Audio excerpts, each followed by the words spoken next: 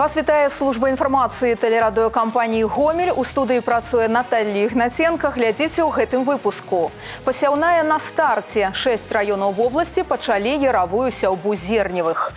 Новыя працоўныя месцы, імпартазамяшчальная вытворчасць і прыцягненне інвестыцый. У сэс гомелератон падвялі вынікі работы. Добрая традыцыя у гомелі з'явіцца парк сямейных дрэваў. А зараз аб гэтым іншым больш падрабязна. Сучасныя пагрозы, рызыкі, камп'ютарныя інцыдэнты і правілы паводзінаў у глобальнай сетцы. На пасяджэнні Савета бяспекі ў палацы незалежнасці сёння абмяркоўвалі, як зрабіць інфармацыйнае поле краіны зручным, эфектыўным і дакладным.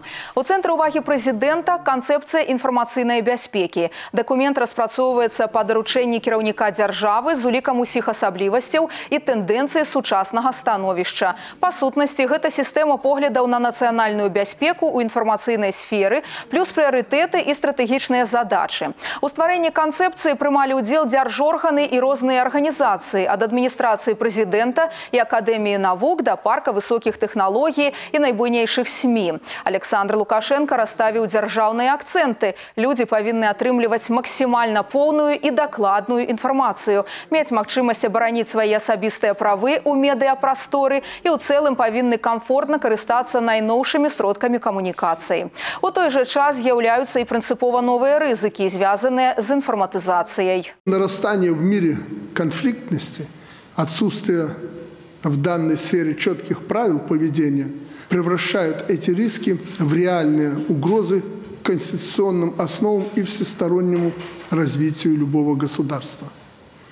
Вызывает беспокойство наращивание деструктивных воздействий на общество, манипулирование массовым сознанием – распространение недостоверной информации. Именно с них начинаются социальные катаклизмы современности.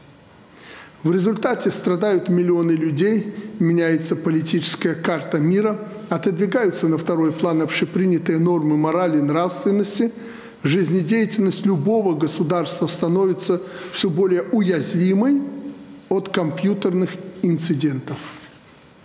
С учетом этих процессов необходима эффективная деятельность государства по обеспечению информационной безопасности.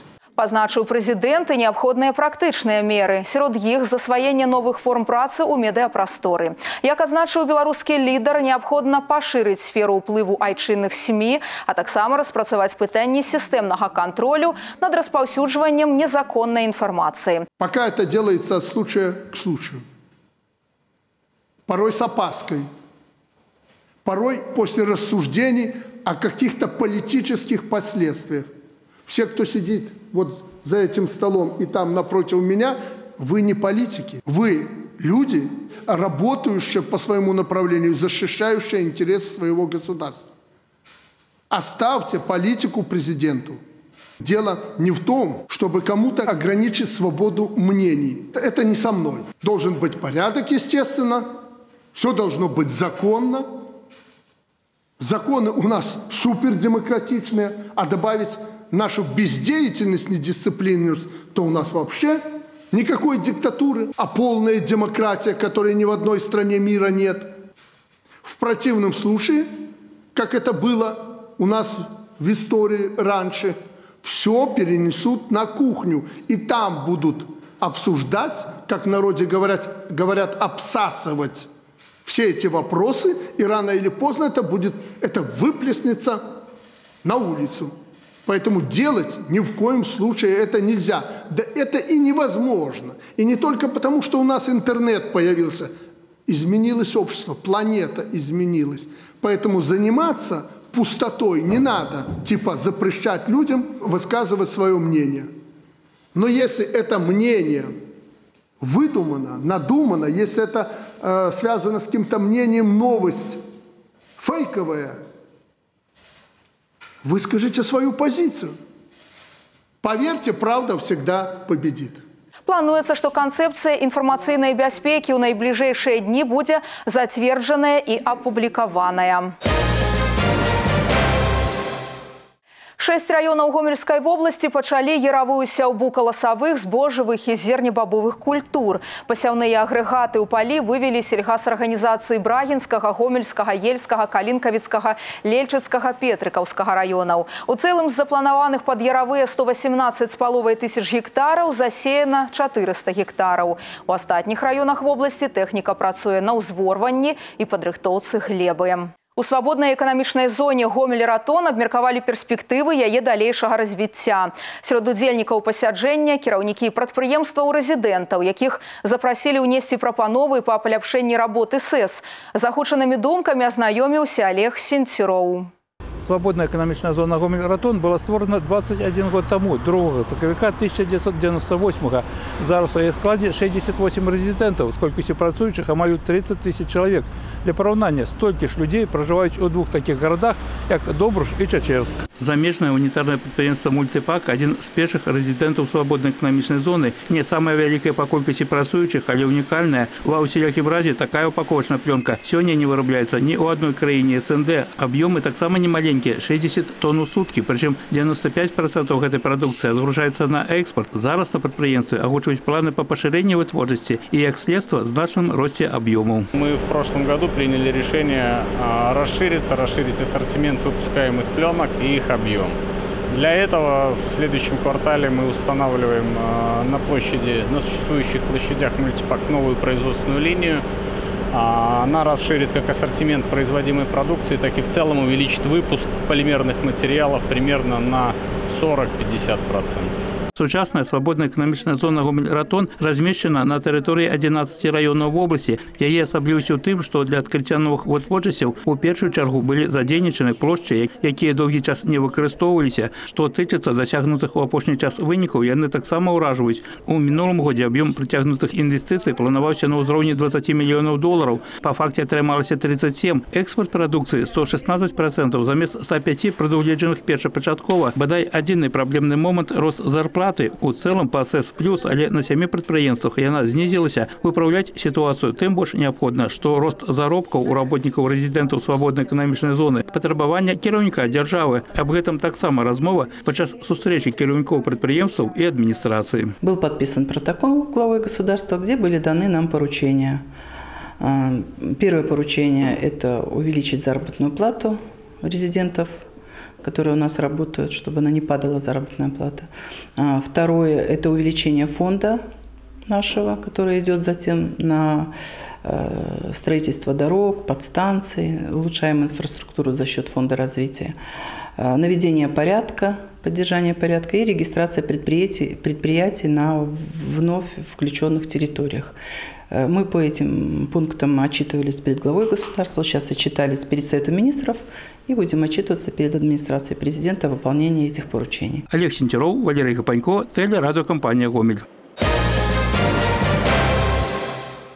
У гомелі з'явіцца парк сямейных дрэваў. Размесціцца ён у раёне возера бурае балота ў валатаве. Па задумцы гамельчане ў гонар любых сямейных падзей, вяселля, нараджэння дзіцяці, юбілею змогуць пасадзіць дрэва. Таксама на тэрыторыі парку размесціць зоны адпачынку. Першыя дрэвы высадзяць не пазней сярэдзіны мая. Ініцыятыва стварэння парку сямейных дрэваў належыць БРСМ. На сегодняшний день проводятся у нас пока подготовительные мероприятия. Э, студенты Белорусского университета транспорта разрабатывают концепцию этого парка. Э, со стороны э, Гомельского горисполкома проводятся работы, определяющие, где можно будет там посадить деревья. Дарэчы, у 2019 годзе па ўсёй вобласці працягнуцца работы па азеляненні. Прычым у большых маштабах. Толькі дрэў будзе высаджана на 10 тысяч болей, чым летась. Гэта лічба складзе 35 тысяч. Таксама ў населеных пунктах рэгіёна з'явіцца 11 тысяч новых кустарнікаў. Перавагу будуць аддаваць звыклым культурам, дубам, бярозам, клёнам. Высаджваць будуць як маладыя, так і дарослыя дрэвы. Вялікую увагу будуць надаваць захаванню саджанцаў. Для гэтага распрацаваны шэраг мерапрыемстваў. Падчас экалагічнай акцыі добраўпарадкуем малую радзіму, асаблівую увагу звернуць на крыніцы. Этот год, так же как и прошлый, идет э, под, э, значит, как год проведения глобальной экологической акции. обустроим малую родину. Здесь у нас хотелось бы сказать, э, что в Гомельской области, так же как и в республике, будут определены и проведены мероприятия по э, обустройству родников. Э, у нас уже на сегодняшний день значит, специализированные организации ЦНИКИВР проведены работы по инвентаризации всех родников в Гомельской области. И, значит, здесь сейчас мы проводим работу, выявляя те родники, которые наиболее востребованы населением, с тем, чтобы их именно, значит, обустроить и сделать более доступным людям. Тым часам туі у бетонных чашах сёння вярнулі на плошчу Леніна ў абласным цэнтры. У зімовы час расліны беражліва захоўваліся на дзяржаўным прадпрыемстве чырвоны гваздзік і з прыходам вясны зноў гатовыя радаваць гамельчан. Расстаноўка чаш будзе праходзіць паэтапна. Сёння свае месцы ў адпаведнасці з эскізамі занялі 100 раслін. За імі арганізуюць неабходны догляд.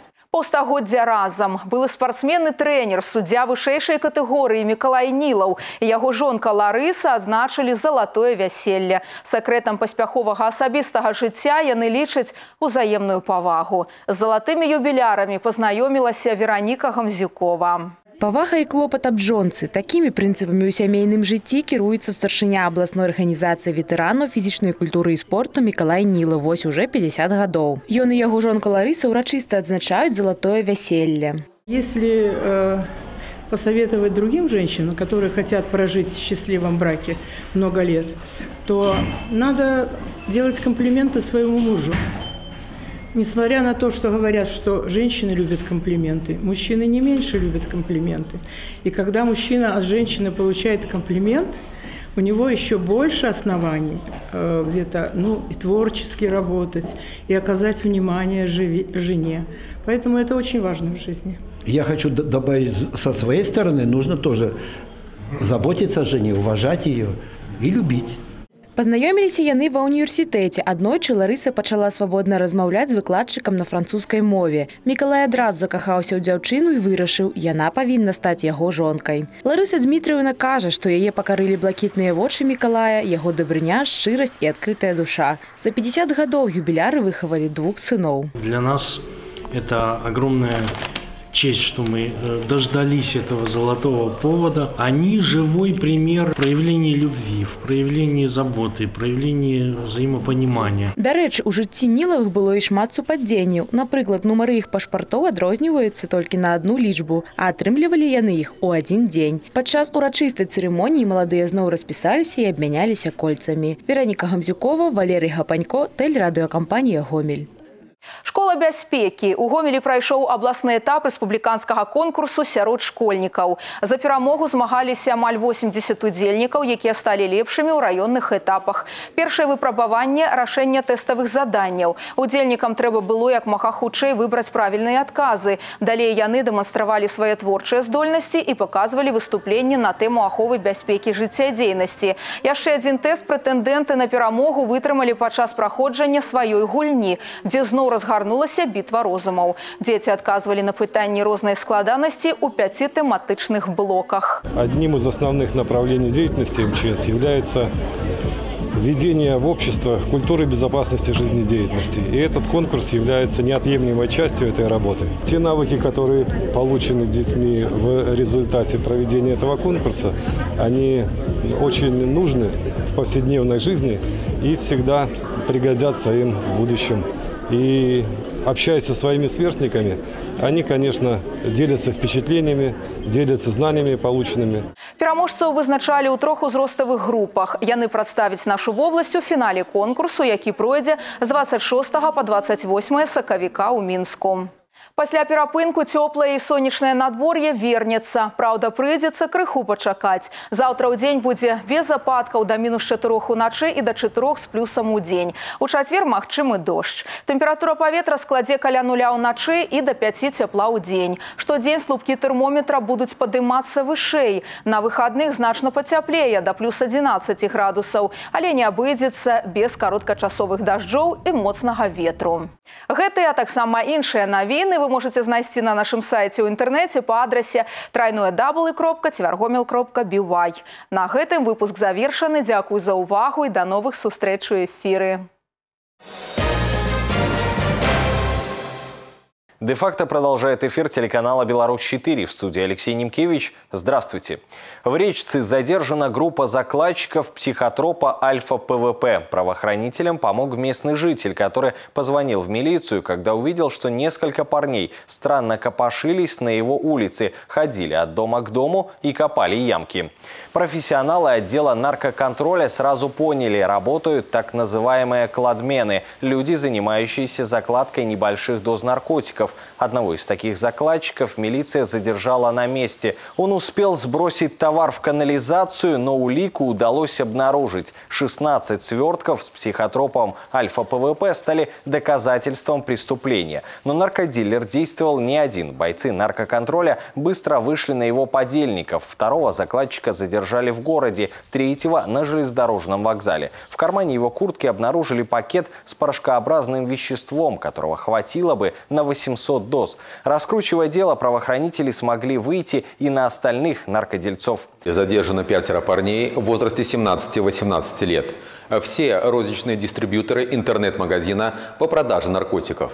Ходе обыска сотрудники наркоконтроля нашли тайник с особо опасным психотропом. Свертка с альфа-ПВП хватило бы на тысячу доз, но благодаря милиции и бдительности местного жителя теперь это материал для работы экспертов. Закладчики действовали по обычной схеме. В условном тайнике забирали сырье, фасовали наркотики по мелким дозам и отправлялись по городам на гастроли, чтобы распространить в укромных местах психотропный товар. Кроме этого, из незаконного оборота выведено более 100 закладок не только в Речице, но и в других городах Беларуси. Изъят фасовочный материал, полиэтиленовые пакеты, изолента, весы, билеты на железнодорожный транспорт. Из-за непогоды в Гомельской области накануне произошло множество мелких и несколько крупных ДТП. Так, в Гомельском районе в неуправляемый занос вошел автомобиль ВАЗ. Водитель стал выруливать и столкнулся с попутным микроавтобусом. Пассажир обоих транспортных средств в больнице. Водитель легковушки оказался заблокирован в авто. Работниками МЧС при помощи гидравлического инструмента был деблокирован пострадавший и передан бригаде скорой медицинской помощи, которая констатировала смерть.